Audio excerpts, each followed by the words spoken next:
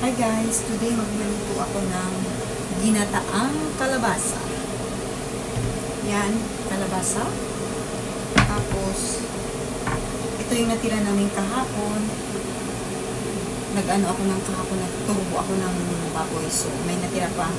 Yan, ipan, paglalahok, ipanglalahok ko sa, ano, sa kalabasa, ginataang kalabasa.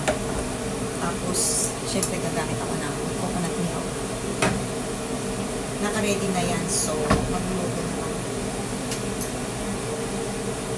Magluluto na lang tayo. Yan guys, para makita nyo.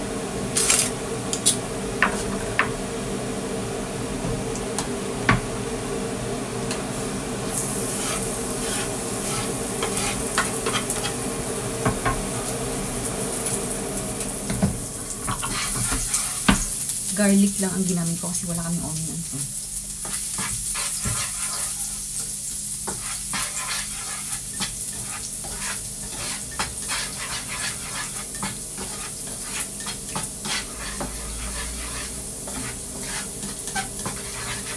Yan, tayo na natin mag-brown ng ano, yung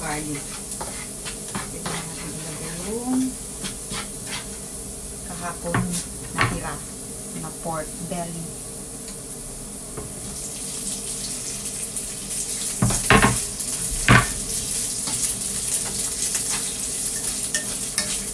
Yan, bisa-bisa lang natin guys.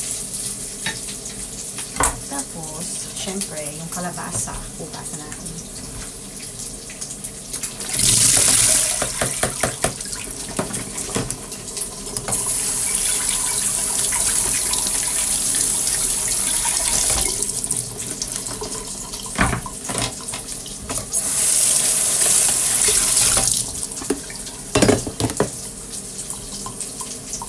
Nakabuto na yung ano. Yung kalabasa.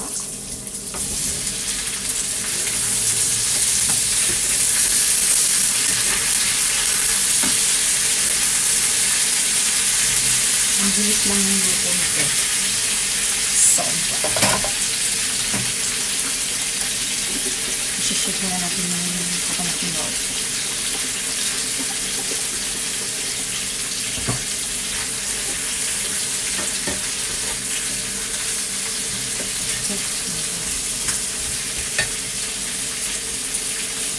May nalaglag pa. Sayang.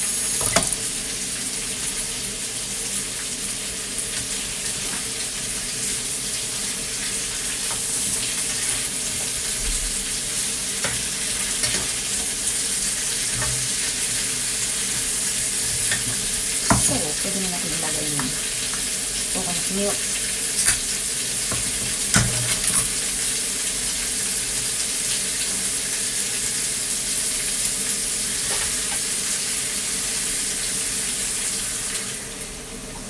Oh, wow. Sarap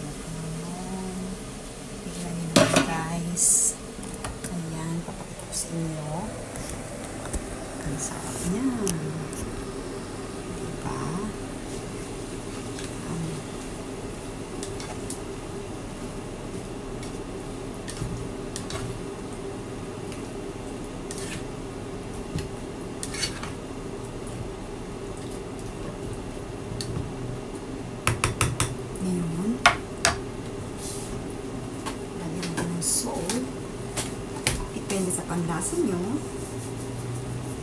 Kasi ako maalat talaga ako magtimpla. Alam kong hindi maganda yun, pero what to do? Yun talaga ang timpla ko. Siyempre, ang sikreto, ang ginamoto.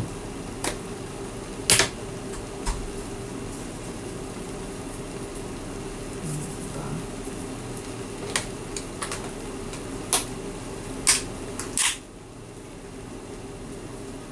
Tapos,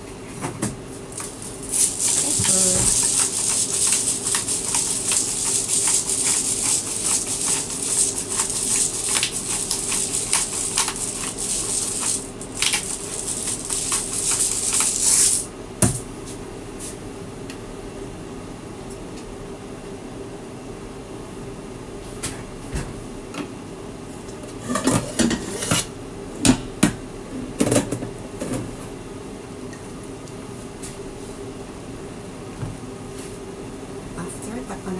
Guys. Wait natin mag ano siya, maluto yung yung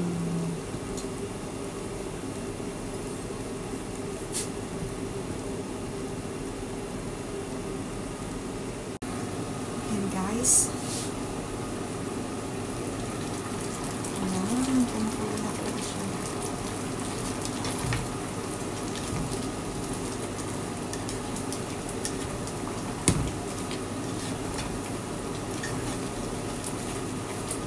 So good.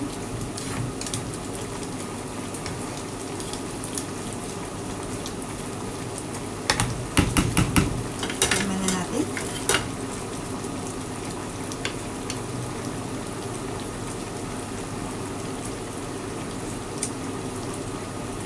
Mmm. Ang sarap ng gata. I swear.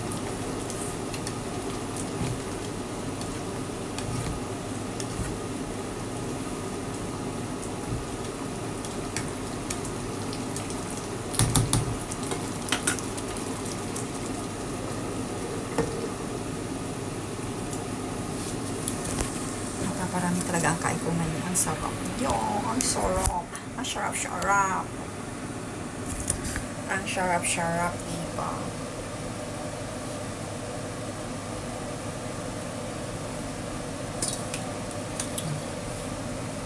Ano, ubus yan mamaya.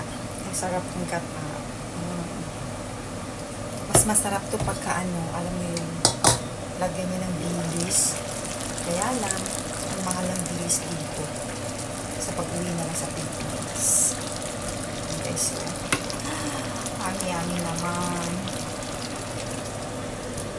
Okay guys, malapit na siya maluto.